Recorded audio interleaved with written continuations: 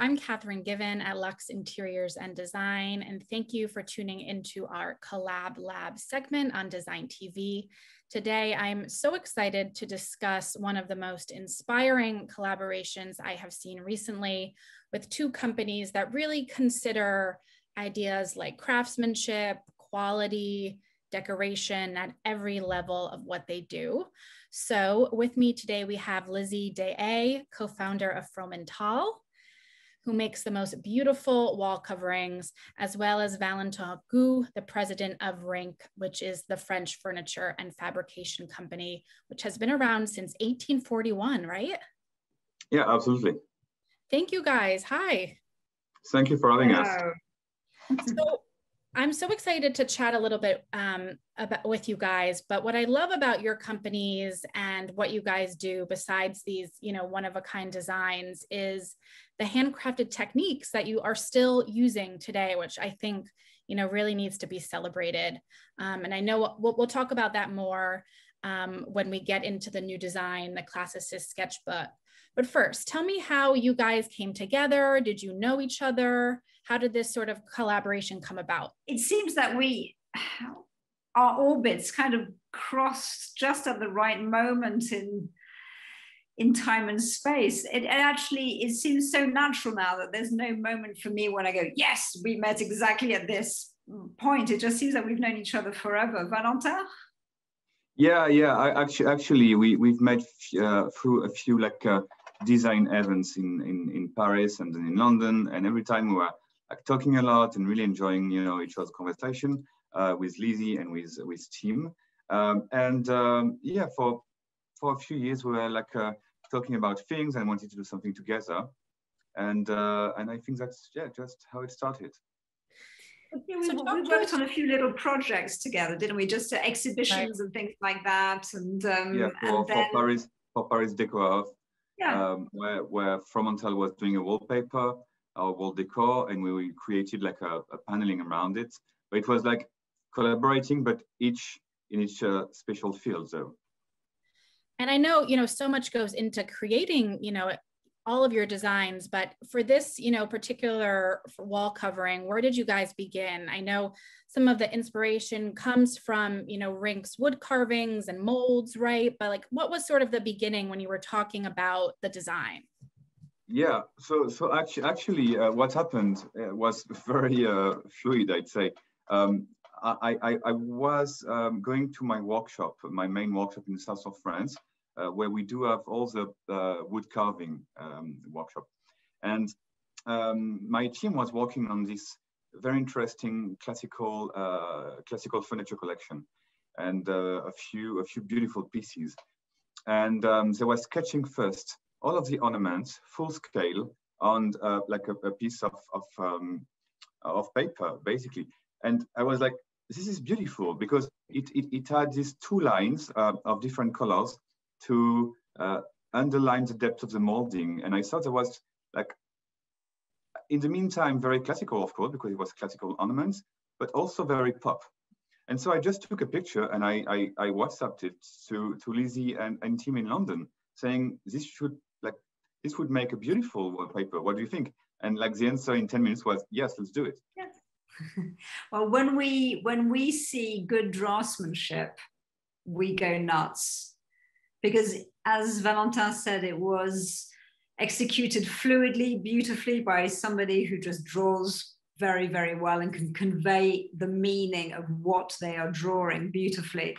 And it was obvious when uh, Valentin then gave us the layout of the intended wallpaper. It was so beautifully laid out.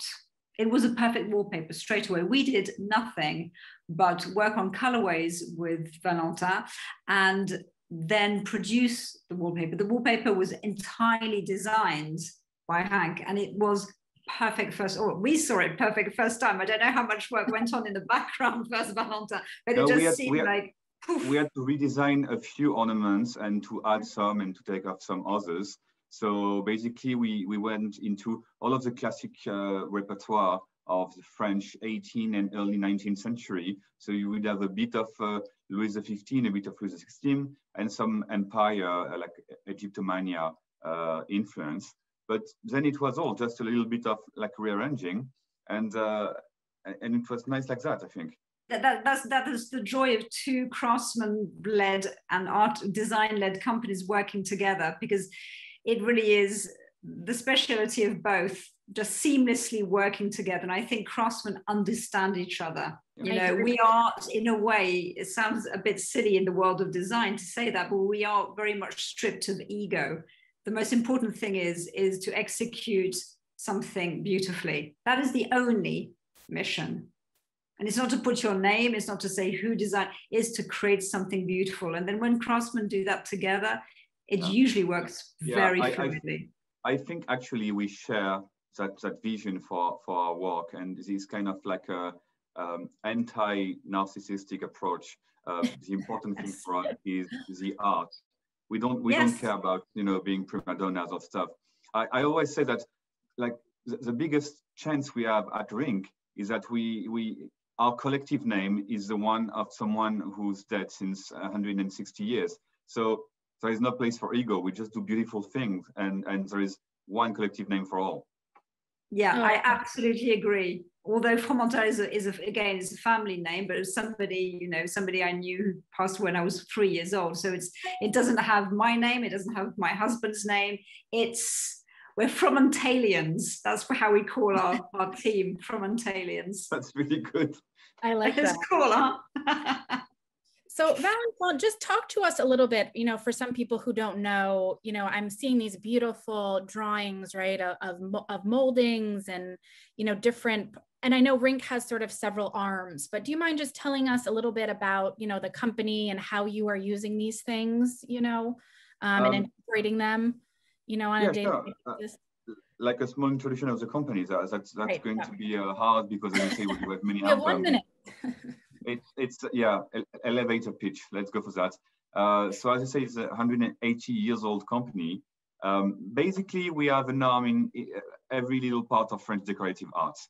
Um, we we do we have workshops uh, doing both millwork and um, like cabinet making, and we also have our own interior design studio, uh, very specialized in the in French classic stuff. But um, it doesn't mean that we cannot Uh, rethink our view of French classicism. And that's what we did with this wallpaper, bringing a little bit of pop culture into classicism. Oh, I like that. And then, you know, Lizzie, I have to say, like Fromental, just you guys do color so, so well. And so I kind of am interested. I think I think the classicist sketchbook comes in, is it six colors? But can you discuss sort of how you refine them and you know how, how you get to what how, how do you choose? I just can't okay, imagine. It, in this case, it well, again, when we work with somebody special, we have done a you know we've done lots lovely collaborations, and and and they all have their unique points. But there's something when somebody delivers a drawing, and it's so well executed that you get the essence of what that is trying to be, what, what is being put across. And when I saw the black and white drawings and the color rendering, the first colorway that uh, Valentin Tim had worked on, I immediately thought um, Festival of London, 1950s, and I was transported into a world of color, which was really quite strong. And I knew exactly what the colorways should be. It just talked to me, that whole design just immediately, the colors just fell one after the other because it was the strength of de- the design itself it was really talking it was saying exactly what it was and then the colors come it doesn't happen very often but when something's so well executed it's yes, the colors just come and you just know what they're meant to be. And I instantly adopted them as well. And I, I, I was seeing exactly where each of them should go. Like the green one for me was uh, uh, a townhouse in the, in the Upper East Side. And the, the, gold one was in Italy somewhere in the 70s. And, you know, I, I had really a place for a location for each of them. That's great because I was going to ask you guys, you know, now that you have, you know, this beautiful wall covering, like I was going to say, how do how do you envision it, you know, using it in a space, or have you used it in a space, or or what well, do you think? First, I'm trying to convince my wife to buy a new apartment in Paris to use it. there you, you need more walls. yeah, I really need more walls. What about but, you, Lizzie? How would you use it? Is it sort of in oh, a my... like jewel box space? No, a bigger space. I mean, I look, I love small spaces, but you know, wallpaper is it's got scale and with the wallpaper again that's so interesting when when you walk afar from it and then when you walk close you see the execution of it the fact that it's all hand painted I think it's always lovely to have it in a corridor or a room where you can really walk past things, walk towards it or past, and you just get a different feeling. It's just, it's always moving. It's wonderful in a small space, of course, but to really interact with the, decor- with the decorative arts, you have to be able to walk around them and be within them. So, I mean, obviously, yeah, yeah. large spaces. I, I totally wonderful. agree. I totally agree. I, actually, all joke aside, I'm, I'm really, I'm, I'm, really buying a new apartment, and and I, I, have plans the the gold one to be the entrance. I think like oh. you, open, you, open, the door and you see the gold one with, with like a nice little console, maybe some you know mm-hmm. vases and, and and stuff like that, and it's very dramatic. It's beautiful. It re really creates like a, a sense of, uh, of like something is happening in this apartment. Mm, brilliant. So we need that we need that in Paris, you know. Uh, right. we, we've been under like a, an, an invasion of of, uh, of gray and beige and, and the worst of all gray in Paris for the last uh, 20 years. So so we need colors in our lives. You have to be the flag bearer for that for us, Valentin. I agree with you, Valentin. And I just want to touch on because both of you are doing things that so that really doesn't exist. You know, you're using these very handcrafted, you know, one of a kind techniques. Um, that's why I think it was such an amazing meeting of the minds, you know, because as you said, you guys were on the same page. But can you talk about the process a little bit, maybe Lizzie, just like, you know, hand painting these designs and, you know, how it takes, I mean, because it really is so, it's quite labor intensive, right? Absolutely. So, I mean, the drawings that were given to us were incredibly high res. They were crisp. There was nothing to do to them. They were absolutely perfect. So, what we could concentrate on was um, preparing the samples in our London studio. So, I personally painted the first samples um, and filmed them, filmed the painting of the samples, um, prepared all the colorways, so that our studios knew exactly how the handwriting should look. So what I wanted to do was not reinterpret um, the the cartoons that um, Valentin had given me and you know respecting them not putting a twist on them just really respecting them and thinking how would these have been rendered by a draftsman? How does a draftsman draw? How does a draftsman paint? Or how does a draftsman use ink? So i try to recreate that in the movement of the paintbrush get the colorways down and then our studios are so good at understanding and capturing the feeling of a painting style and they reproduce that really really beautifully. Yeah. but it was I, very I, I important. You really got it actually because as you say it's it's uh, it's a draftsman gesture. It, it, it, it's not it's not like someone who's sitting on the table and and and going with something very precise you know? Yeah. uh, it's um, it's just like one perfect gesture and and um, yeah and someone who's always like uh, up actually not sitting so it's uh, yes. I, I think you really got it and what, what's interesting is that I usually stand up when I paint because you know you, you need the, the your body to move you know, to create a, a, beautiful line, and our uh, our artists all stand, and they stand at a really good angle so they don't hurt their backs, but they never sit when they paint. They all stand, so that's where there's that wonderful fluidity. Mm, certainly. And is there anything else you want to add, just, you know, Valentin, whether it's, you know, handcrafting furniture or hand painting, you know wallpapers sort of why you know this legacy or this heritage is is still important you know in in design? Well for me doing this wallpaper is very very uh, interesting because most of our custom pieces um, you know are extremely pricey.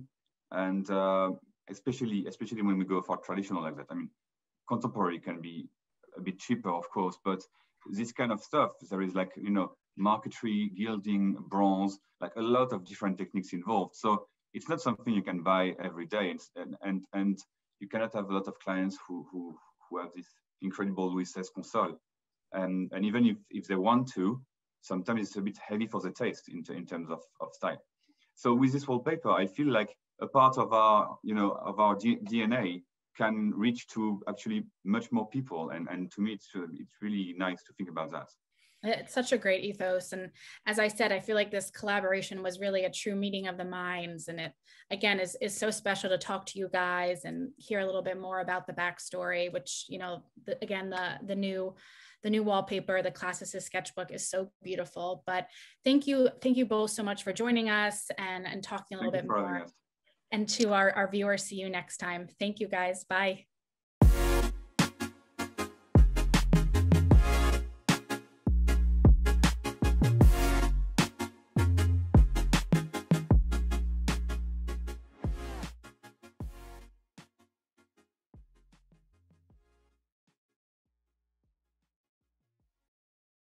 welcome. I'm Avi Rajagopal, editor-in-chief of Metropolis Magazine, and we're here today to talk about healthy spaces and clean surfaces, something we've all been talking about for a long, long, long time now.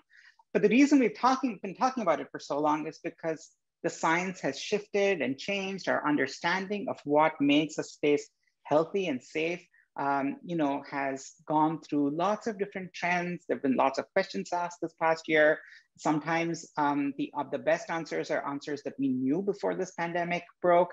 Um, so, you know, we're, we're in this place where we're thinking about health um, so much more deeply today. Um, and so how do we bring that understanding how, we, how do we bring a science-based approach to the design of interiors? Um, you know, certainly everybody remembers uh, when you know people were so excited about should we put copper in every surface and um, you know people were talking about antimicrobials and it's bleach cleanable now of course and then MERV filters were all the rage at some point. So you know how do we kind of sort through all of that and how do we start to apply some of those principles um, in a post-vaccine world as well as you know as we prepare for for you know certainly um, what is most likely going to be future um, sort of uh, health challenges uh, in, in our spaces, whether it's workspaces or elsewhere. So let's talk to this amazing group of experts we have today about how we can get some of those basics around healthy design, healthy surfaces, healthy materials, clean surfaces right. Um, to talk to us today, we have uh, Brittany McNary, who is the interior product project designer and associate at Perkins & Will. Brittany, thanks so much for joining us. Yeah, thanks for happy to be here. Uh, we have Ryan Johnson, who's the materials researcher with the Healthy Building Network. Ryan, such a pleasure. Happy to be here as well. And Jeffrey Rose, who's the Global Technology Manager at Corian Design. Today's panel discussion is being presented in partnership with DuPont Corian. So thank you so much, DuPont, for making today's discussion possible. I'd like to begin with Brittany. Uh, Brittany, you know, as we were saying, this past year, we've seen so many shifts in terms of what is the best practices for healthy spaces, right? Um, you know, we have standards and we have certifications in the industry, but certainly, you know, even even those places have been um, trying to grapple with some of the realities of this pandemic um, and what might what it might suggest for the future. So, what do you think, for better or worse, um, out of all those trends, is actually going to stick? You know, what are what are we going to be stuck with, or what are we going to be thankful for? Yeah, that's a, that's a great question, Avi. Uh, for the past year and a half, we've all been focused on our health and well-being. Uh, the pandemic has affected us all, and as a result, we've seen an increased interest and awareness of indoor air quality and improving air filtration in our spaces. Um, that primary focus has been on minimizing risk to COVID, um, but limiting exposure to bacteria in the post-pandemic world uh, will continue to be important, especially since companies are aware that their design strategies to address indoor air quality. Um, I think we'll likely continue to see companies searching for buildings and spaces with high performing HVAC systems um, or HVAC systems that can easily be upgraded to provide increased air filtration. Um, the pandemic has also created an increased awareness of those high touch surfaces. Uh, so we've seen a shift of companies incorporating uh, touchless door operators and technology at building and suite entries um, and elevators. So I think as we return to work, um, touchless technology will continue to evolve and become more integrated into spaces, um, both with touchless fixtures for AV controls, um, as well as food service, um, and even more. Um, I think that's really interesting. So, you know, uh, the indoor air quality piece, of course, has become so important as we've started to understand how this current virus actually spreads. Um, and, you know, what is you what is the sort of largest cause of transmission? You know, for a while we thought it was surfaces, which is why we went around wiping down everything for a long time, and which is why you know antimicrobials and all of that became so um, popular for a little while. Um, but you know, we still want to, and you're right, we still want to avoid touch. So touchless ID, touchless is certainly um, a trend in that's going to stick around, I think. And then, of course, um, indoor air quality. Um, so thank you so much for that, Brittany. I think those two those two are the good things that hopefully will stick around after this pandemic um, that we'll be thankful for. We're all thankful for cleaner air. Um, Ryan, let's talk about the, the other part of this. Um, I'm sure you've been inundated with questions about, you know, um, antimicrobial surfaces or bleach cleanable surfaces. And we know some of those, you know, not, not just from a sustainability point of view, but actually from a human health point of view itself, aren't really that great, right? Um, there's, there's certainly, you know, um, difficulty in terms of um, rationalizing some of those some of those new developments, even if they are quote unquote FDA approved. So, you know, what should be our approach to material selection at this time? You know, how, how should we approach picking materials for spaces? Yeah, and I think um, when I think about the, the, the way I've the biggest topic I've thought about in material selection uh, in the last year and a half, it's definitely you know antimicrobials are, are certainly what comes to mind. Um, and I think when we see things, we I, first of all, I just I want to recognize that I know there's a lot of people in industry that I think are getting a lot of pressure to add antimicrobials to their products. Uh, just anecdotally, I've heard that, and it's I think both internal and external because people just want to feel like they're living in an environment that is uh, going to make them more healthy. Um, consumers want to feel that way. Um, but I do think there's a big difference between feeling better about what's in your environment and actually being in an environment that is allowing you to be healthier. So when it comes to the idea of, of antimicrobial products, I think first it helps to just understand what they are, um, that they're pesticides. Um, they're, they have to be registered with the EPA. Um, but a lot of building products just have them anyway. They've historically been used in building products. They, they sort of need to use them as preservatives. For instance, you know, paints uh, have several antimicrobials in them, and, and those are there to protect the product, not the people. And so, so I think like when I, if I'm vetting products that have antimicrobials, I would say, you know, sometimes you're going to see an antimicrobial in a product that sort of is is there because it's preventing the product from spoilage.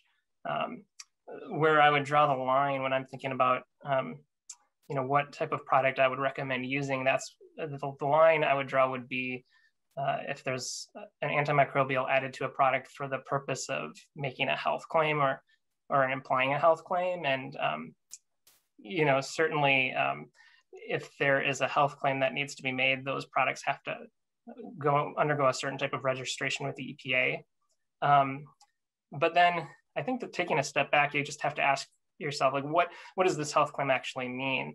Uh, if you're if you're registering a product with the US EPA and saying that um, it protects public health.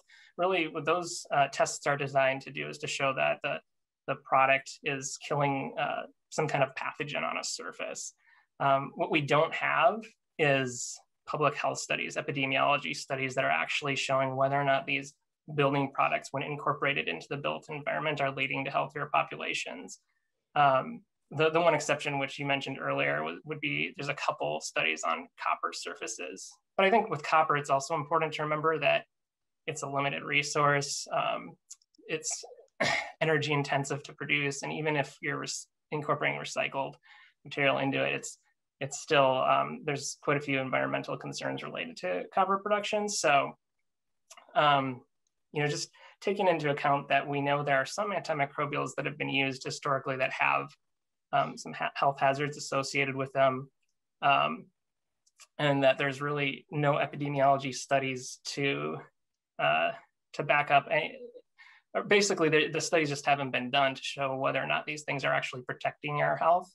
Um, and then also, I would add on top of that, uh, there are certainly studies by people who know a whole lot more about indoor microbial ecology than I do that would suggest that using antimicrobials in the built environment actually could be contributing to antibiotic resistance. Um, and that's a really complex topic. And I think a lot of research is still being done in this area. Um, even research suggesting basically every indoor environment is different. Um, and so, so, so at the end of the day, um, you know, I would just say, if you're vetting products, I, you, you, often there's an antimicrobial option and an option without antimicrobials, and we would kind of guide people to use products that uh, don't have those additional antimicrobials that are there for some other reason other than product preservation. Right, right. Um, you know, I, the approach you're describing, of course, is called precautionary, right? Like, don't right. do more than you have to because the science isn't there yet. You know, so do do just enough. And I think that's that's in general, even whether we're talking about you know environmental impacts or whether we're talking about health impacts, that's usually the the way to go. I mean, you know, uh, 50 years ago, we all thought asbestos was fine, right? Um, we had a brief period of madness recently where, you know, we were on the verge of maybe permitting asbestos again and then, you know, drew back. I think our, our understanding of materials and sometimes, you know, the, the science, it doesn't become clear around those materials um, for decades, right? And so, you know, it's, it's best to it's best to be cautious in, in what we use. So thanks so much, Ryan. And, and I, I really appreciate your nuance on antimicrobials, knowing that, you know, certain products, you might see them in their, you know, EPD, like environmental product declaration or a declaration of the components. You might see an antimicrobial substance in there, but you have to ask whether that's an addition or whether it's there to protect the product itself from, you know, say um, fungus or mold or you know bacterial growth or things like that. So that's a really important nuance. Thanks so much for that, Ryan. Yeah, um, no problem. And I forgot to mention, there's um, we did work with um, uh, with uh, Perkins and Will and a couple other groups, uh, LFI and HPDC, and put out a joint statement on antimicrobials. Kind of summarizes all of this in one page. That's on Mindful Materials. Um, if people are familiar with that website, so um, that's a nice succinct resource that's out there as well. Awesome. So if you have any questions about antimicrobials, that's a good place to go. Uh, just go to the Mindful Materials website and you should be able to find it there. Um, if we can find it, we'll put the link into chat.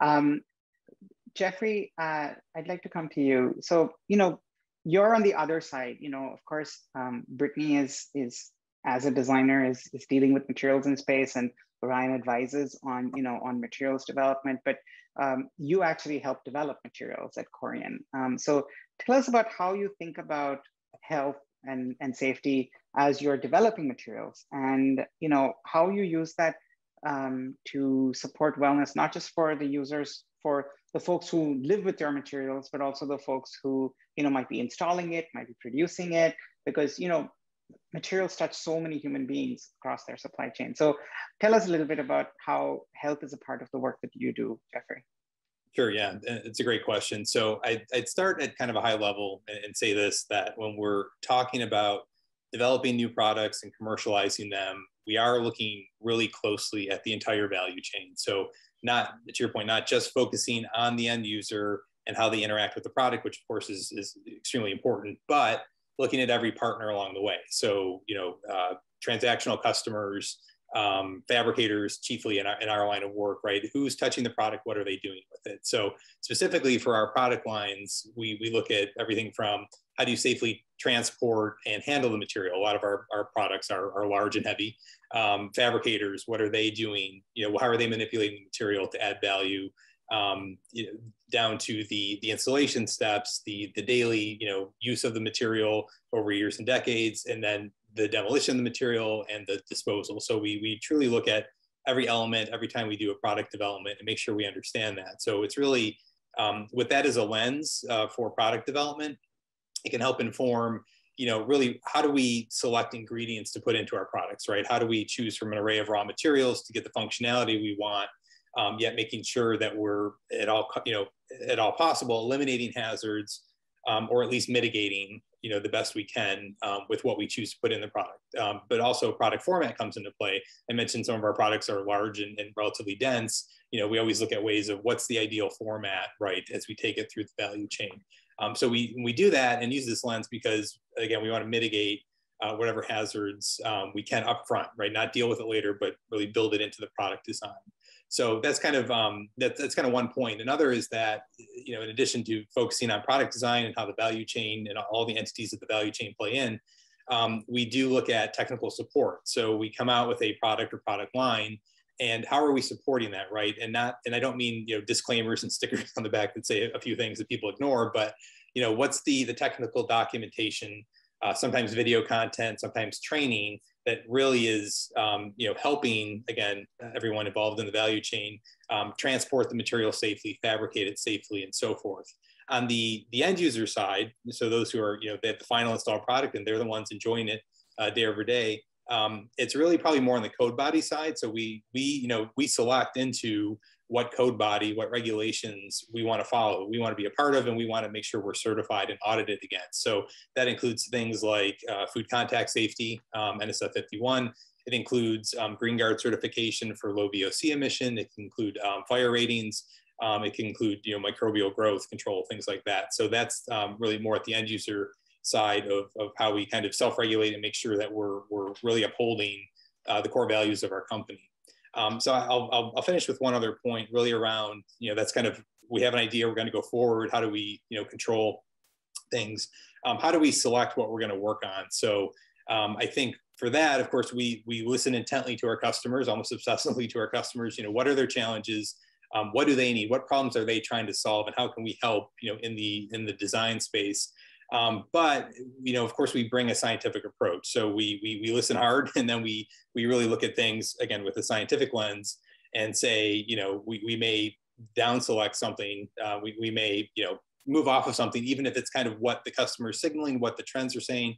And a perfect example is what Ryan was talking about is the inclusion of antimicrobials in surfaces. So this has been you know ostensibly like the go-to you know maneuver to say, hey, look, we have a new product. It's better, it's safer, it's it's more hygienic because it has an antimicrobial in there um, that's going to do all this action. So, you know, we've looked very carefully at what's out there. We looked at, you know, what the CDC says and what research says, and and just the view of this, and and we we share um, what um, you know what Ryan what Ryan talked about in terms of a cautionary approach. Um, we, we believe that we cannot at this point manufacture a product that's safe and effective um, if we, we use that maneuver and include an antimicrobial. So um, I hope I kind of touched on again high level, um, how, you know, how we execute what we want to produce, but then also talk about you know how we how we guide what we're actually going to go off and do. So. Thanks so much, Jeffrey. You know, I think it's really important to have all of those sort of safeguards, but also, you know, touch points um, coming back you know, what is the science, what is the local guidance, you know, but also who who is going to be impacted by the decision you make at every stage of the process, you know, of of um, developing new materials. Um, I think you know, Brittany, you you set us off on that big picture, talking about you know how we now care about indoor air quality and how you know air um, has been one of the things we we've paid we started to pay the most attention to as a result of this pandemic. It wasn't how we started out at the you know in March last year, but certainly you know as the science has built up, we've understood that you know air quality is the most important thing. Um, and I just want to say you know when Jeffrey brought up Green Guard Gold, you know we also have to think about air quality um, in terms of air circulation, but also off-gassing and VOCs and all of that, all of the you know other stuff that we might be inadvertently putting into the space and creating more of a load for those air purification systems as well. So, you know, really important to think about air. Um, and, you know, when it comes to touch, Brittany, you brought up touchless surfaces and or, or touchless devices and, and things like that. And certainly some of those are going to be important to inspire more confidence in people as we return to work or return to healthcare spaces and other places like that. But you know, high touch surfaces, one of the biggest trends, as, as um, you know, Ryan brought up, is, is, antimicrobials, and you know, certainly the science on that is is um, suspect at best. And you know, we it, it suggests that we need to take a more fundamentals approach, right? Not go, not not go with the latest fad at the moment just because we don't know what unintended harm we might be causing by the decisions we make today. And so you know again jeffrey that back to basics approach that you talked about right? Just thinking through every stage and thinking about not just the impact that you know an addition like antimicrobials or, or something like that is going to have on the people who actually use the space, but also on all the people in the supply chain, all the folks who actually have to handle those chemicals and put them into the product, um, who have to deal with it when you throw the product away. Um, you know, so, so understanding that the decisions we make as designers are not just going to impact the lives of end users, but actually have a, have a huge impact on the entire supply chain of whatever products and materials that we choose to work with. So that's really important. So thank you so much for laying out that landscape. That's absolutely fantastic. Um, I want to talk about sort of, um, uh, you know, toxicity, red lists, and precautionary lists. So, you know, we know that certain materials or certain chemicals or certain chemistries uh, are not great for human health, uh, even though they're commonly used in, in products. And we've seen over the past you know few years um, many of those materials be taken out of building products and interior products because of those concerns. You know, a good example is phthalates, which were used in you know in vinyl products, and now most vinyl products are phthalate free. Um, vinyl has other problems, but phthalate is not one of them anymore, just because you know that's been um, you know, there's there's so much awareness about you know the endocrine disorders and other things that that chemical can cause. There's lots of red lists like that, but it's hard to keep track of those things. It's hard to kind of you know um, figure out what is the approach to take towards materials like that that may end up causing that you're putting in a space because they're high performance or they're easily cleaned, but you know at the end of the day they might end up causing more harm than good. So can you talk about how designers can keep track of, of science. I mean, designers are not chemists. Um, you know, they're not they're not trained to deal with chemistry all the time. Um, how can we how can designers take better care of the kinds of materials and products they put into spaces? Um, I'd love to start with that, and then we'll start taking some audience questions as they come in. Sure. Yeah, I um, yeah, I can start with that one. Um, I I think as designers, um, it's important for us to make sure that as we're um, researching materials that we're going to specify that we request transparency documentation that's fully disclosed from manufacturers. Uh, and that transparency documentation that's uh, in the form of health product declaratives or health product declarations or HPDs. Um, and manufacturers have gotten a lot better um, about providing HPDs. Um, but as designers, it's really our responsibility to, to make sure that we're doing our due diligence and reviewing those HPDs to, um, to make sure that there aren't any ingredients that are undisclosed. Um, and in those instances, when undisclosed ingredients are listed, it's important for us to, to go back to the manufacturer and um, ask uh, what that ingredient is, how it's being used in their product, um, as well as uh, vetting the ingredients that are shown on the HPD against the precautionary list um, or uh, the red list. and Perkins and Will has um, a transparency site with the precautionary list uh, that's publicly available to anyone that's interested in um, understanding the relationship of the built environment and our health. And the site lists hazardous substances, um, where they're commonly found in the built environment, as well as alternatives to look for uh, when you're specifying products. So I think as we navigate our way out of the pandemic, it's still critical that we create the demand in the industry for material transparency. Mm-hmm. Mm-hmm. I think that's great, and I I would also add to that if you're looking at those transparency documents, I think you you you kind of alluded to this, Brittany, but you know, if it's characterized, identified, screened down to 100 parts per million, great. 1,000 parts per million, you know, is, is good too, but maybe not quite as good. But the, what that's telling you is that, um, you know, they've they've actually uh, kind of listed every function in that product, and if it's and, and it's um, they've identified what those chemicals are, but also that they they have screened the, those those chemicals against some authoritative hazard lists. Um, and uh, and uh, I, I, think that's uh, you know it's a great start. And and we we also um, have some tools in our database, uh, in our Pharos database. Um, you know, if people want to screen things against, um, you know, they know what those chemicals are, and and they're not sure if they're showing up on one of, uh, on some additional restricted substances lists. People can always go and use that tool and, and see that as well. Um, Jeffrey, from Corian's point of view, is there anything that you know designers need to what should designers keep track of when they're looking at surface materials, for instance? I'd say I was listening um, as uh, Brittany was responding of exactly the same answer, right? It's about transparency documents. It's about manufacturers being upfront with here is what is in our product, right? There, there's nothing to hide. This is what what constitutes the product, um, and just putting it out there. And I think it's um, I'm, I'm proud of, of Corian Design and DuPont because I think we we really were pretty early um, at least in Corian design on, you know, recognizing that, oh, these are important documents. This is a methodology, you know, in a way that we can uh, formally communicate, you know, what our customers, you know, even if they're not asking what they probably should care about. Um, and, and not to the point of, uh, you know, we're, we're, losing sales to competitors who have done it first or we're being begged for documents. Like, I think we're, we're usually um, pretty far ahead on these um, and willing to do it. And I think that they're, um, they're necessary, but also they, I like having these internally because when we look at these, we can, it's better it helps us to judge ourselves right? Like okay are, are, are there things that we you know could, could we formulate around? Are we you know they're not on a red list of course but you know do we do we have a sense that you know at, at some point in the future is this kind of like this other compound that, that perhaps it has an issue? Um, and, and i'll say the epd is similar right? We can look at you know what what's what's the embodied carbon like what goes into making our product and and you know where are points of we'd, we'd want to improve over time. So um, I think it's absolutely the manufacturer's responsibility to be transparent, and, and these are great examples of documents that, that help us do that. Um, you know, related to that, um, one of the reasons why a lot of you know treatments or finishes or different um, sort of chemicals make their way into our products is also about how they're going to be cleaned.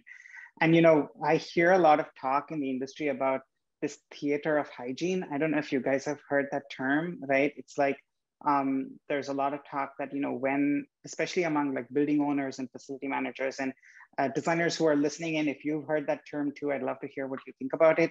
You know there's this idea that you know somehow when folks come back into the office they should see people wiping everything down and like you know um, mopping the floor and keeping things clean you know in a very visible way almost like a like a you know a theatrical performance. Um, but that makes me think about this vicious cycle between you know frequent cleaning and strength of materials right? Um, the uh, like the you you put more materials into um, you put you clean materials more because you know they can stand up to it. And then you know materials have to get stronger because they're being cleaned so often. And like it's just it's just it just keeps feeding itself. Um, and you know the more harsher especially in healthcare the more harsh the cleaning agents are, the more kind of harsh the material components have to be, and none of that is good for us or our health.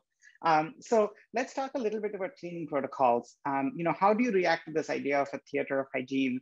Um, you know, how are you thinking about, um, you know, how spaces are cleaned and maintained um, as as people in the design industry? Yeah, I um, I, I think it's a little interesting um, and kind of goes back to one of the comments that was made at the beginning about just kind of perception um, versus reality. And so I think um, kind of the theater of cleaning, it, it goes to people maybe wanting to feel more comfortable in spaces as they return to work and, and seeing that those spaces are clean. But um, I think a part of that cleaning protocol is um, companies kind of clearly um, notifying and letting their employees know like what the cleaning and kind of maintenance protocols are so there isn't necessarily that need to see that action happening in the space. Um, i think it's also important for us to kind of think about um, what materials actually do really need to be um, incredibly durable. So which which surfaces do we actually really need to be cleaning daily um, and, and kind of looking at the cleaning protocol through that lens um, as well as the, the lens of the cleaning product itself that's being used and what that impact will be to the um, indoor air quality of the space.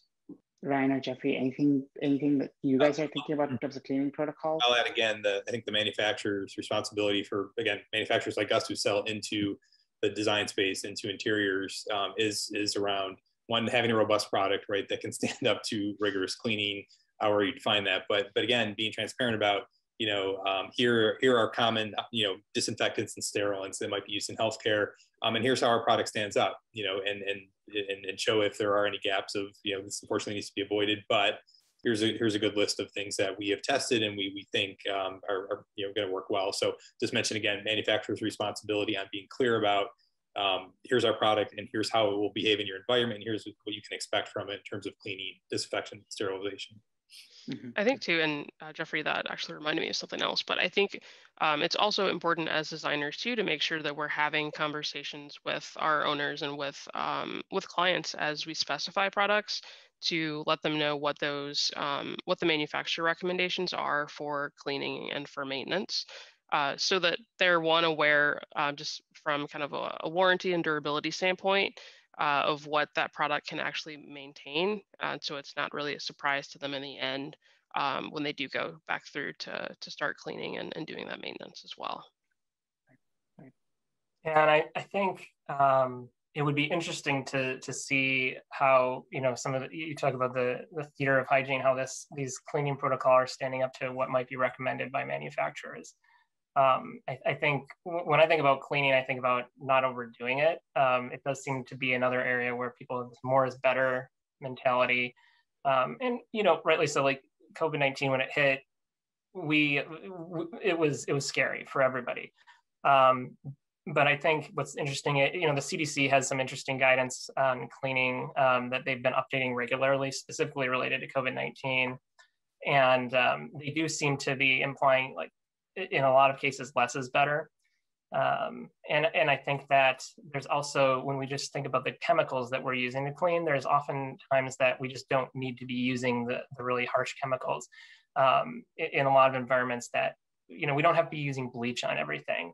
Um, and I think uh, when, when it comes to healthcare, you know, Healthcare Without Harm has some really great resources on this. Um, you know, uh, the Toxic Use Reduction Institute uh, of University Massachusetts Lowell. I know they have um, they have gone through the EPA's list N. Um, that's the chemicals that are uh, cleaning products that are supposed to be effective against COVID-19, and they've they've identified safer ingredients there. Um, you know, there's there's a couple green seal certifications for safer cleaning products. So there's just there's just a lot of ways that we can be thinking about when we are cleaning, maybe not not maybe the frequency isn't that that's happening isn't required, but then also um, there's probably a lot of cases where we could be using something that's very effective um, and and less toxic. And there seems to be a lot of resources out there on, in this regard. Yeah, and I think um, the CDC specifically backed off a little bit and said, "Hey, look, you know, a good soap or detergent, right, is is really effective, right? That the fact that it should be your first step anyway, right? Remove, you know, debris and biofilm, and, and then you may want to use disinfectant. But yeah, especially with with SARS-CoV-2, right? It, it's it's just it, it's easy. It's actually easy to eradicate on a surface with a really good surfactant. So yeah, I, I like uh, you know, don't use something stronger, more um, aggressive than you need to. The other thing too, I think with over cleaning is uh, the more it's a burden and a hassle, um, the quality, you know, you can imagine probably goes down. Okay, we're doing this a lot. So every time you do it, um, you know, kind of just do it quickly. The other part too is ideally when you, you know, you wipe a quat salt or something right on a surface, great, you know, disinfectant for most things. Um, ideally you're wiping it off, right? With, um, you know, you're, you're trying to remove it after it does its action. But again, if you're cleaning all day long because it, that's what you think looks good or what's needed, um, then you're not going to do that. Now, all of a sudden, you have more interaction with people and the disinfectant that uh, you know you probably don't need. Right. Right. Um, yeah. You know, as with as with everything, you know, it's really about taking a step back, taking a breath, finding out what the guidelines are, um, and kind of you know not doing more than you need to. Um, so you know, this theater of hygiene um, is not not always a great thing talking about not doing too much, uh, we have an interesting perspective here from an audience member. Um, Daniel Braffman says, is a healthy space regarding microbes simply a sanitized space or one that mimics healthy biomes? So are, might we be doing harm by trying to kill every single microorganism that's, that's in a space? Um, do we really need this, you know, ultra filtered air, um, totally microbe free surfaces? And is that even healthy for us? So I don't know if any of you have any perspectives on that. Um, I'd love to hear a reaction or two. I, have read about things in this space and, and, an interesting tipping point of totally eradicating the biome, right?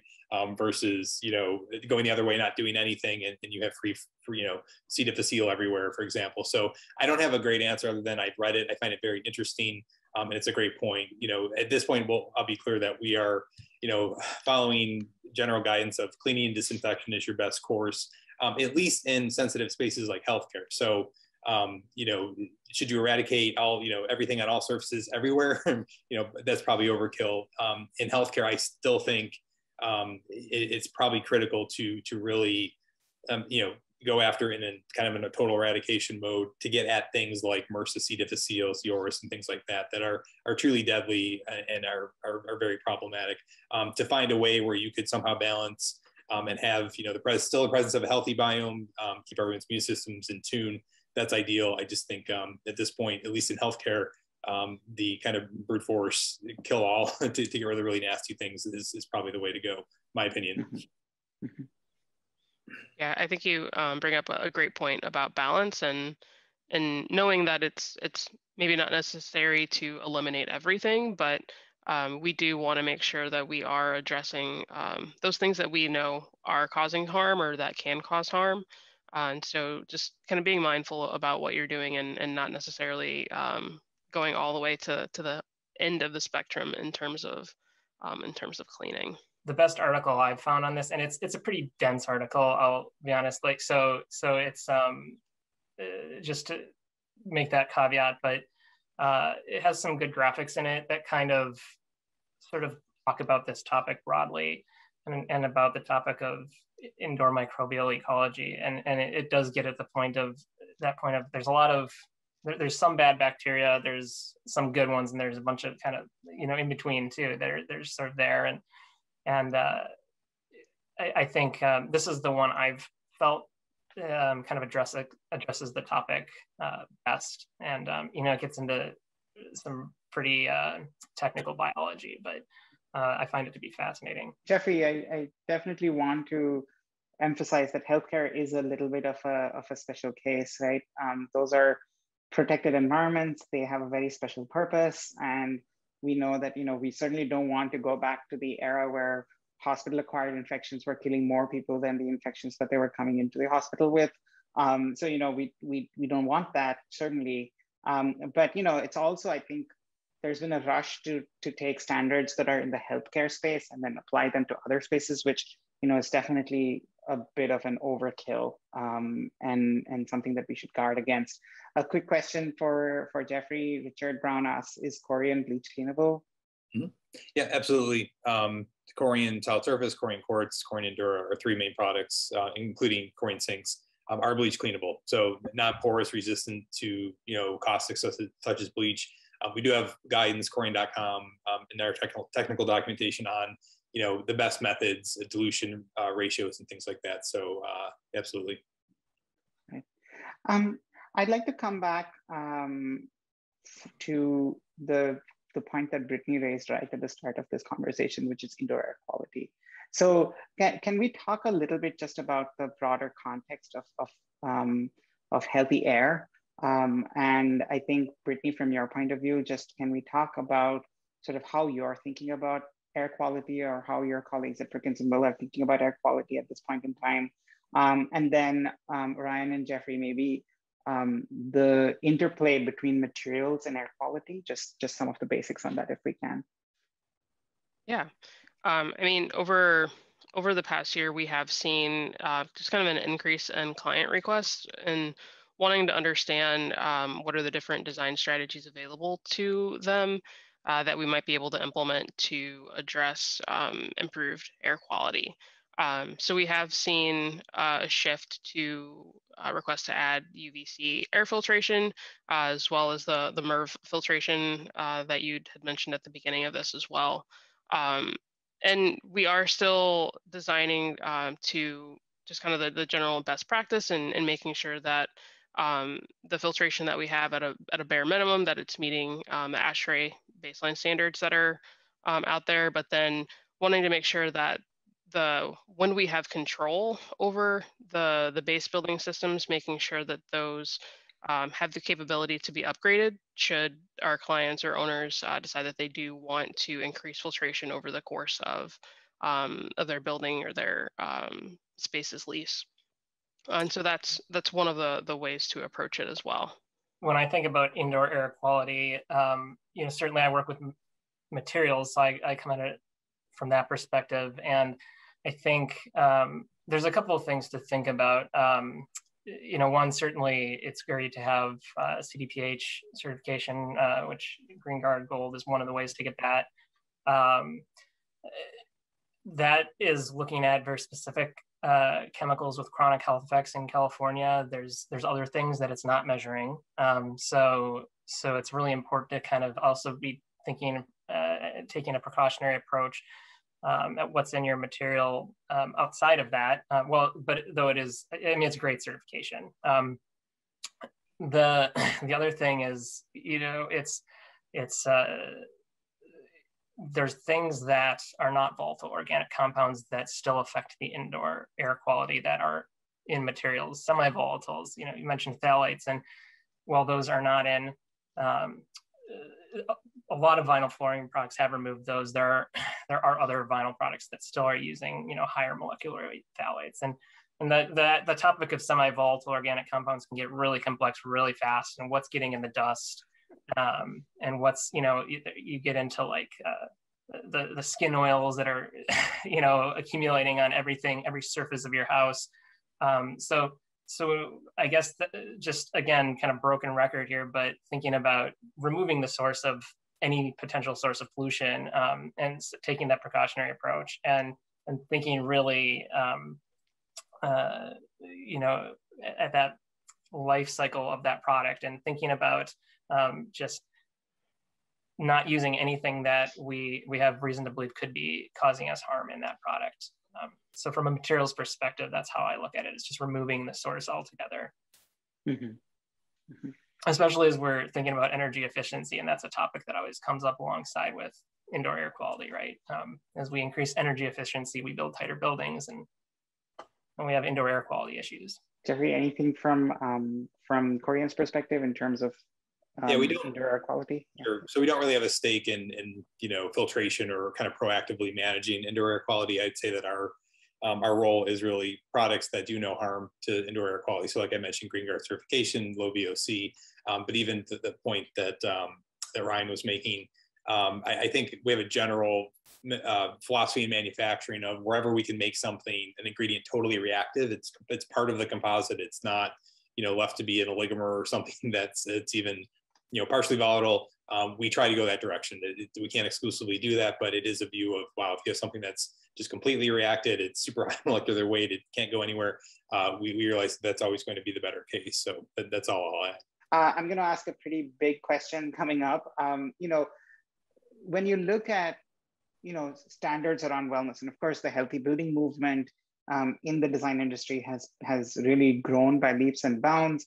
Um, we have sort of certifications like the Well Building Standard or Fitwel, or more recently the Well Health and Safety Rating um, you know, there's there's definitely standards and certifications out there, and they all look at space in this really, you know, holistic kind of way. So, you know, when we talk about something like indoor air quality or or materials, already we start to see how those two things have a connection, right? Um, and so, the needs of any space in terms of you know how it stays healthy is such a complex kind of um, you know kind of combination of factors.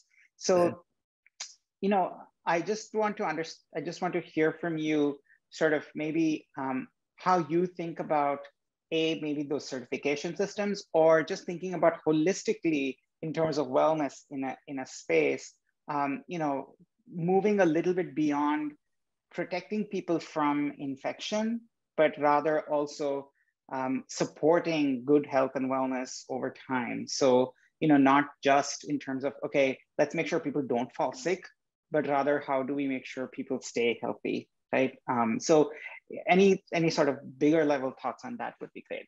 As, as you mentioned, the, the well building standard, I think it does a great job of, of holistically looking at spaces and their impact on the, the human body. And coming out of the pandemic, like yes, we've we've been talking a lot about cleanability and about protocol, but I think there's also over the past 18 months, we've also really just been focused on physical and, and even mental health a bit. And so I think uh, while it does a great job um, just through their um, through their mind features and some of the nourishment features that they have uh, in their standard, they do a great job of looking holistically at spaces, both at uh, the organization's policies, um, as well as what's physically in the space um, and in the built environment to help address um, the, the impact that the built environment has on, um, on people's health as a whole. Um, but I, I think we're still going to, to continue seeing um, just kind of maybe an added interest in companies wanting uh, designers to make sure that spaces are not only addressing uh, just kind of spatially what those needs, what their what their needs are, um, but wanting to understand how they can actually um, help improve um, kind of mental um, mental health as well. I think our um, our view on this, our role. So we talked about you know our product lines as, as being functional in terms of hygiene. They're non-porous, they're bleach cleanable, and so on. Um, but you know we we we focus on aesthetics, of course, right? So we, we sell not only products that we're, we're trying to hit aesthetic trends, trying to create certain environments through the aesthetics, um, but also even in design, how you can manipulate the product and have, you know, uh, curve features and backlighting and things like that. So I think we can contribute to overall, you know, healthy spaces by having, you know, things that are attractive that can be, uh, that can be soft, that can be, you know, almost healing.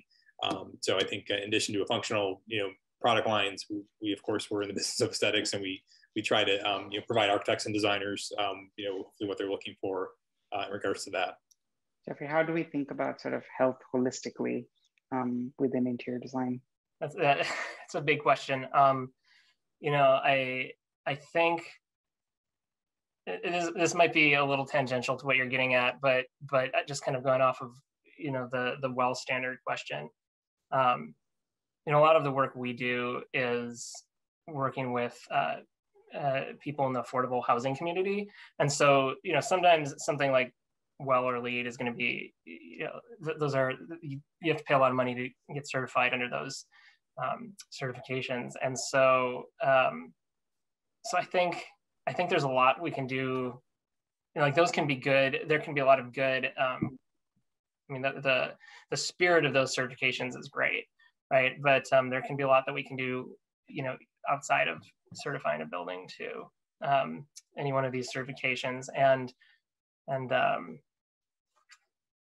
and I think that, uh, you know, when you're, when you're looking at material selection, you know, uh, maybe I'll just uh, shamelessly promote, you know, one of our tools here, you know, we have our, our hazard spectrum, uh, hazard spectra, that is uh, where we kind of just, um, we look at those things. We look at um, from material selection perspective, um, what what um, what materials are going to have the most um, you know human health and environmental hazards associated with them and we do consider things like upstream in the the manufacturing process and that so we are considering things like occupational exposures um, in exposures to people when they're installing products um, and uh, exposures that might occur to fence line communities when these things are um, being manufactured.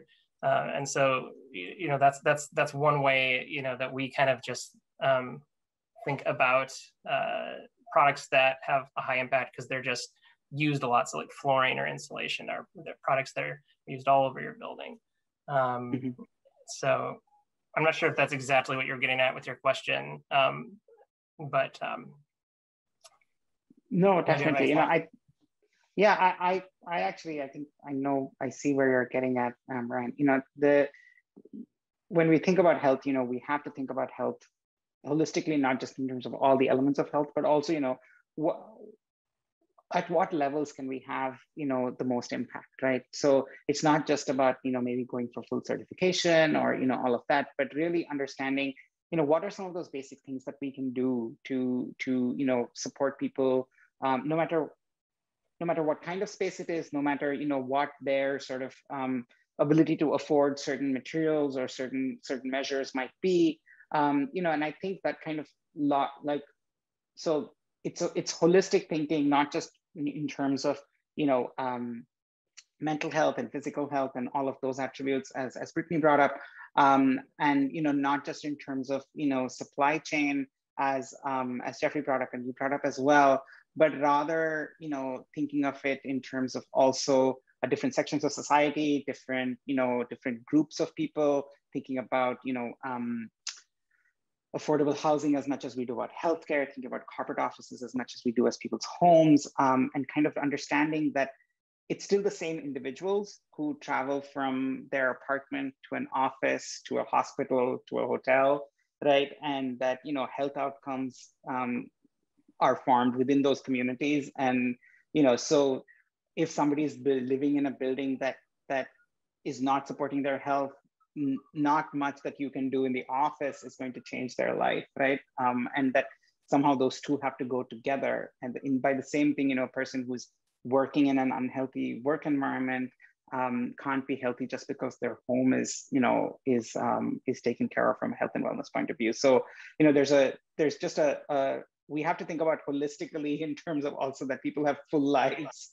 um, right some great comments in here, uh, some quick questions as well. Um, Wendy is prompting us to talk a little bit about the outdoors, um, and I think that's great. You know, um, can we talk about, um, you know, looking at um, outdoor outdoors and as an element of health? I mean, certainly a lot of there was that trend as well. It was like, well, why don't we work outdoors? Why don't we open up buildings? Why don't we have, you know, like um, you know, operable windows everywhere and so on. And, and certainly there's some limits to that kind of thinking, but let's talk about, you know, being more open to the outdoors um, and, you know, A, how that, uh, I think Brittany, from your point of view, are you seeing that more of that integration or, or kind of talk about that integration?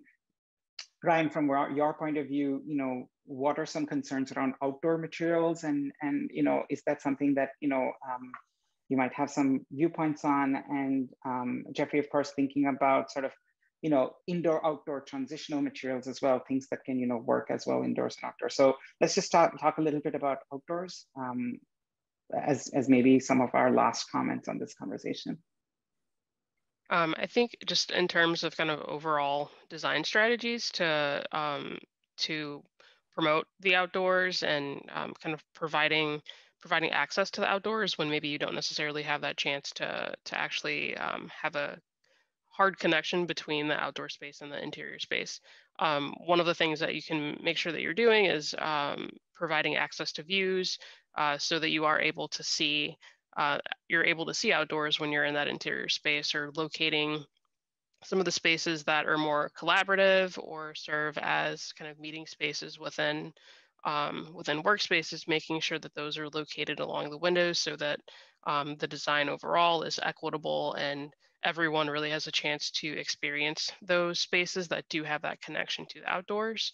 Um, another great resource too is um, Bill Browning's 14 Patterns of Biophilic Design.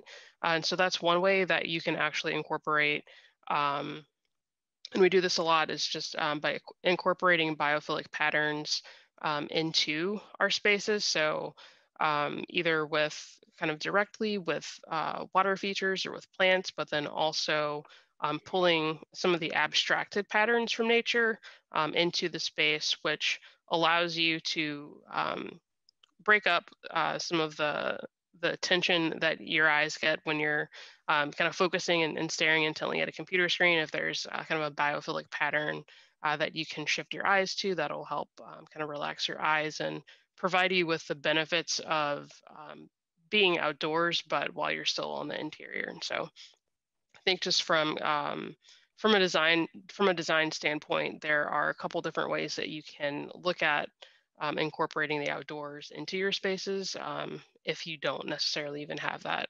um, have that opportunity to have a physical connection to the outdoors. I think if we're thinking about from a material health perspective, uh, materials designed for outdoor spaces, you know, by nature, they're going to have to have properties that you don't necessarily need uh, if you're using a material for indoor spaces because they're exposed to the elements. So you need things to help them, you know, be more resilient against sunlight and, and, and, wind and rain, right? And so, um, you know, one thing that I think about, um, I've, I've I've looked more at indoor materials than outdoor, but the outdoor materials that I have looked at, you know, certainly there's there's uh, the first thing that comes to mind is is uh, you know PFAS, the forever chemicals. Uh, uh, you know they they tend to be used in certain coatings um, that can be used on the building envelope. Uh, they can be used in uh, you know concrete sealers, things of that sort. And and so I think that's the kind of thing to that is you know maybe more concerning from a material health perspective is is um, you know identifying materials that are they're not using chemicals that uh, that are you know the forever chemicals that are that are um, that have health concerns associated with them just as an entire class of chemicals like that. Um, the other thing that comes to mind is kind of different but um, you mentioned opening windows and and certainly um, you know, fresh air intake is, is a huge thing. Um, and and that's great when you have fresh air you know fresh air when you have air that you want to breathe. But if you are thinking about a, a product from a whole life you know cycle perspective uh, you got to think about the people living near those you know, petroleum refineries that have repeat violations right? And so um, there are places where um, people maybe don't want to open their windows and they and, and so uh, that's another thing to be thinking about. And that type of information can be really really hard to get at. Um, I, I, I wish there was like a, a an easy way um, to to say you know to vet materials based on these upstream life cycle uh, things. And, and you know we, we've we've done that to a degree with some things and have some of that information in our tools but but um, it can be really hard to find that information. So i think it's a complex issue quickly again i think our role here is um, helping to you know create outdoor spaces providing again the right products that can be positioned outside you know bring the hygienic benefits bring the you know the beauty um, and other and other functionalities. And then again, a, a, part about transparency of you know, hey, these products are superior. This is what you can expect in 10 years. This is what this will, product will look like in 10 years um, versus this product, which you you know you can use, but you could expect more of a color shift, for example. So I think it's about you know designing products that can work outdoors to build outdoor spaces, um, and then being transparent about how we expect them to perform over time in you know an accelerated sense. Um, Thanks so much for that. You know, we're used to thinking about indoor environments, and this is, you know, a, a, legacy of, you know, the last 50 years of how we've built buildings. We used to thinking of indoor environments as protected environments and outdoor environments as sort of exposed environments. And to some extent, that's true. And yet, you know, as we were talking about, you know, biomes, and I and thank you so much for sharing that DOI article, um, Ryan. Um, as we're thinking about biomes, you know, we have to understand that there's that we live with with microbes. We live with all kinds of things indoors as well. And you know there's there's there's no there's no perfectly hermetically sealed environment on this planet really um, except for very extreme conditions. Um, and so you know we, to some extent we have to think about the interplay of air and material and human beings all the time um, and the pandemic has just kind of reinforced that. And i think that's at the heart of some of the basics of healthy thinking. You know on that foundation then we build you know things like um, you know access to views brittany as you were saying or um, you know biophilia aesthetics as you were bringing up jeffrey. You know we we we can then on that foundation where we where we've tried to mitigate as much harm as we can build the foundation of you know now nurturing and supporting and helping people you know feel comfortable feel safe and be healthy in spaces. So you know i think there's a there's a layered approach here. And you know as ryan you were saying there's there's many different levels at which you can tackle the the the, the problem. Um, it is very complex um, but i think there's there's an entry point for almost anyone um, into you know how to create healthy spaces. So um, thank you all so much brittany um, ryan and jeffrey for all your um, input today. I really appreciate it thank you to our audience for for listening to us. Um, and i hope you know you will stay in touch with us and and let's continue the conversation. This conversation about health of course doesn't didn't start today it doesn't end today. Um, you know it's a movement that that we're all part of. And you know ultimately um, you know it's one of the most important one important goals we have as designers um, is to you know safeguard the health of not just the individuals who use our spaces, but also the communities who we impact through our work, whether it's through specification or through other means. So thank you all so much again for, for joining us today. I hope you have a great afternoon. Um, and um, I hope you all stay healthy. Thank you.